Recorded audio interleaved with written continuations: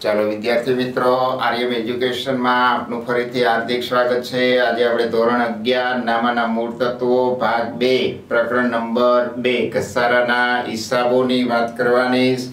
તો સૌથી પહેલા તો ઘસારો કોને કહેવાય?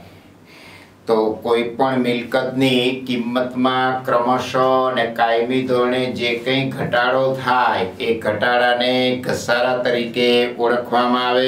જે આગળ આપણે પારિભાષિક શબ્દની અંદર પણ જોઈ ગયા મિલકતની કિંમતમાં કોઈ પણ કારણોસર ક્રમશઃ અને કાયમી ધોરણે થતો ઘટાડો એને ઘસારો તરીકે ઓળખવામાં આવે છે બીજી સ્પાઇસર અને સ્પાઇસર અને પેગલરના મત મુજબ ઘસારોએ આપેલ સમય દરમિયાન અમુક કારણોસર મિલકતની કિંમતમાં અથવા તો મિલકતના અસરકારક આયુષ્યમાં થતો ઘટાડાનું માપ ગણાય ઘસારો એ કાયમી ઘટાડાને ઘસારો કહેવાય અમુક વર્ષના અંતે મિલકતની ચોક્કસ ઉપયોગને કારણે અથવા મિલકતની કિંમતમાં ઘટાડાને કારણે એ મિલકત બિનઉપયોગી બને તો આ ઘસારો એ સમયને લગતો ખર્ચ કહેવાય ઘસારાને બિન રોકડ મહેસૂલી ખર્ચ તરીકે દર્શાવવામાં આવે છે. અને ઘસારો એ ધંધાનો મહેસૂલી ખર્ચ હોવાને કારણે નફા નુકસાન ખાતાની ઉધાર બાજુ ખર્ચ તરીકે દર્શાવવામાં આવે છે. ઘસારો મિલકતની ઉપયોગી કિંમતમાં ઘટાડો સૂચવે તેથી એ નફા નુકસાન ખાતાની ઉધાર બાજુ ઉધારવામાં આવે છે હવે ઘસારાના લક્ષણો જોઈએ તો પહેલું એ કાયમી મિલકતો તો મિલ્ક અ, ઘસારો એ કાયમી મિલકતો જેવી કે જમીન મકાન યંત્રો ફર્નિચર જેવી કાયમી મિલકતોમાં ગણવામાં આવે છે. તેવી મિલકતોને ઘસારાપાત્ર મિલકતો તરીકે ઓળખવામાં આવે પેટર્ન, ટ્રેડમાર્ક, કોપીરાઇટ જેવી અદ્રશ્ય મિલકતોને પણ નિર્ધારિત આયુષ્ય દરમિયાન ક્રમશઃ માંડી વાળવામાં આવે. ધંધાની ચાલુ મિલકતો કે પ્રવાહી મિલકતો પર ઘસારો ગણવામાં આવતો નથી બીજો વપરાશી મૂલ્ય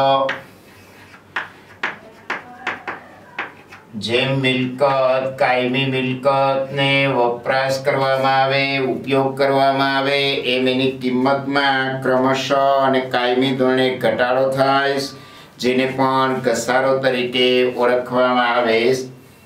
ત્રીજું લક્ષણ, સમય. ઘસારો એ સમય સાથે સંકળાયેલો મહેસૂલી ખર્ચ ગણાય. ચોથો નંબર, મહેસૂલી ખર્ચ. જે ખર્ચ વારંવાર થતો હોય, રોજબરોજ થતો હોય, દર વર્ષે થતો હોય, તો એવા ખર્ચને મહેસૂલી ખર્ચ ગણાય એમ ઘસારો પણ અહીંયા ધંધામાં દર વર્ષે ગણવામાં આવે. માટે મહેસૂલી બિનરોકડ પ્રકારનો ખર્ચ કહેવાય અને નફા નુકસાન ખાતે ઉધારવામાં આવે. પાંચ નંબર, માંડી વાળેલી રકમ જેટલો મિલકતમાં ઘસારો થાય એ માંડી વળેલી રકમ તરીકે દર્શાવવામાં આવે. મહેસૂલી ખર્ચ હોવા છતાં પગાર, ભાડું, વ્યાજ, કમિશનની જેમ ઘસારો એ કોઈ અન્ય વ્યક્તિને પગાર, ભાડાની જેમ ચૂકવવામાં આવતો નથી તેથી એ બિન રોકડ ખર્ચ તરીકે માંડી વાળેલી રકમ તરીકે તમારે દર્શાવવાનો છે મિલકતનો વપરાશ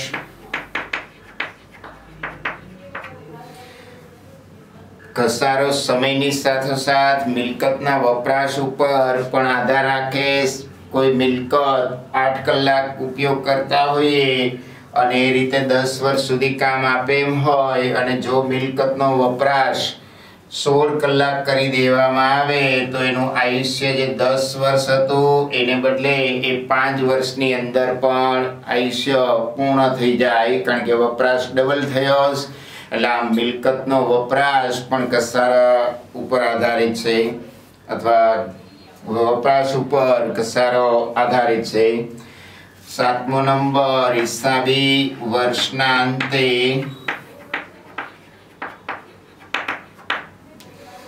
તો હિસાબી વર્ષના અંતે કાયમી મિલકતની કિંમતમાંથી ઘસારો સામાન્ય રીતે બાદ કરવામાં આવે, માંડી વાળવામાં આવે બરાબર વર્ષના અંતે ઘસારો બાદ કરવામાં આવશે.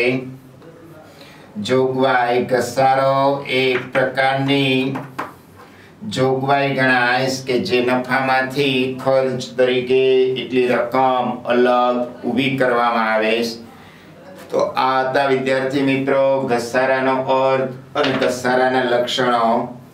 ત્યારબાદ બીજો નંબર, ઘસારાની જોગવાઈની જરૂરિયાત.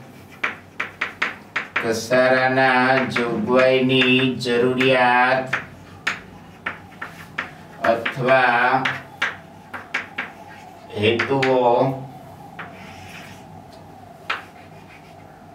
એમાં પહેલો હેતુ કે ધંધાના ખર્ચ તરીકે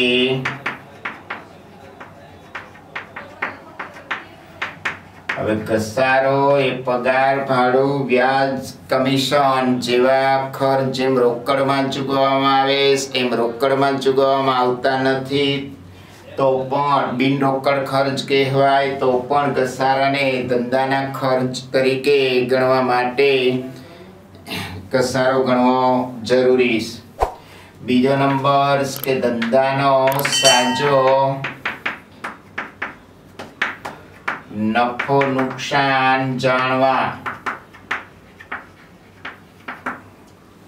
જો ઘસારો ધંધાનો મિલકતનો ઉપયોગ કરવાથી મિલકતની કિંમતમાં ઘટાડો થાય અને એ ધંધાના ખર્ચ તરીકે નફા નુકસાન ખાતે ઉધારવામાં આવે, તો જ ધંધાનો સાચો નફો નુકસાન જાણી શકાય જો ઘસારાને ખર્ચ તરીકે ન દર્શાવવામાં આવે, તો ધંધો સાજો નફો નુકસાન દર્શાવતો નથી. માટે ધંધાનો સાચો નફો નુકસાન જાણવા માટે પણ ઘસારો ગણવો જરૂરી છે. ત્યારબાદ ત્રીજો હેતુ કે ધંધાની સાચી આર્થિક પરિસ્થિતિ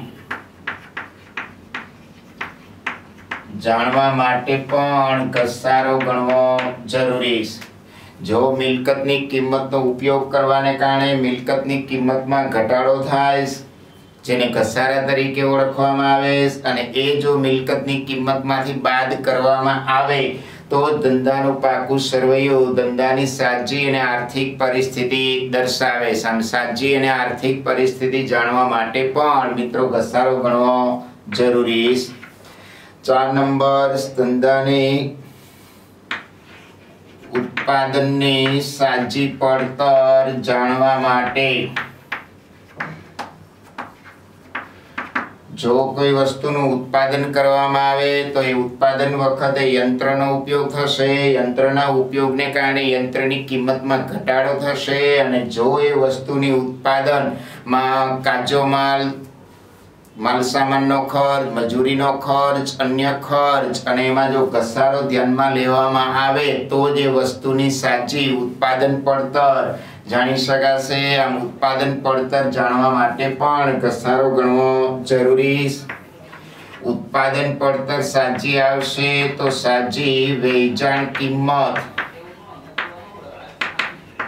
નક્કી કરવા માટે પણ ઘસારો ગણવો જરૂરી ઉત્પાદન પડતર સાચી નક્કી થશે તો જેના ઉપરથી કે વસ્તુ ઉપર દસ ટકા, વીસ ટકા નફો મેળવો. તો એ પ્રમાણે ઉત્પાદન લાગતમાં એ નફો ઉમેરી દઈશું તો તમને સાચી વેચાણ કિંમત નક્કી થશે. એ ઉપરાંત ધંધામાં મૂડી જાળવી રાખવા માટે પણ ઘસારો ગણવો જરૂરી છે.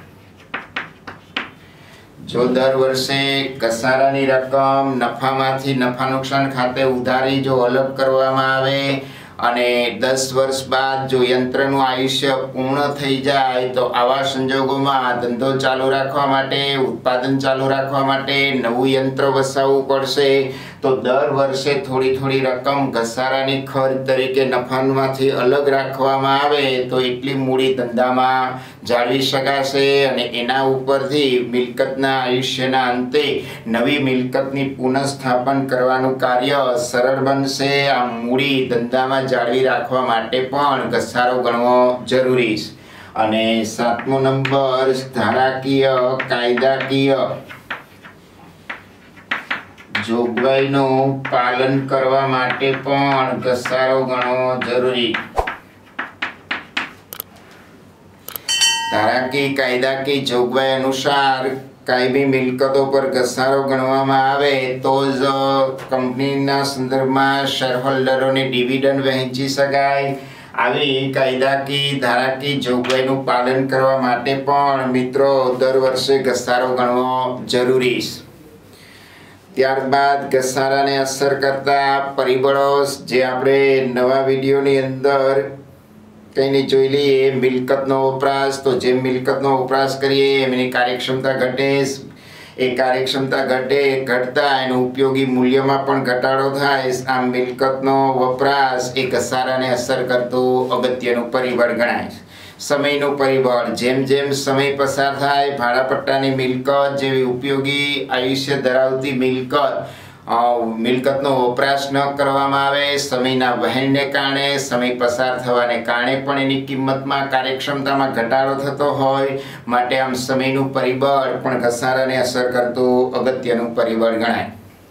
જથ્થામાં ક્રમશઃ ઘટાડો થવાથી પણ ઘસારો ઉદ્ભવતો હોય. કેટલીક મિલકતો એવી છે કે જેની વસ્તુ જથ્થાને કારણે હોય, જેમ કે ગેસ, ખાંડ, કોલસાની ખાંડ, ગેસના કૂવાઓ વગેરે પ્રકારની મિલકતોમાં અમુક જથ્થામાં ઉપર આધારિત હોય. જેમ જેમ એની અંદરથી જથ્થો મેળવવામાં આવે, તેમ તેની કિંમતમાં ઘટાડો થાય અને એ ઘટાડાને આપણે ઘસારા તરીકે ઓળખીશ તો આવી મિલકતના જથ્થામાં ક્રમશઃ ઘટાડો થવાને કારણે પણ ઘસારો ઉદ્ભવે છે.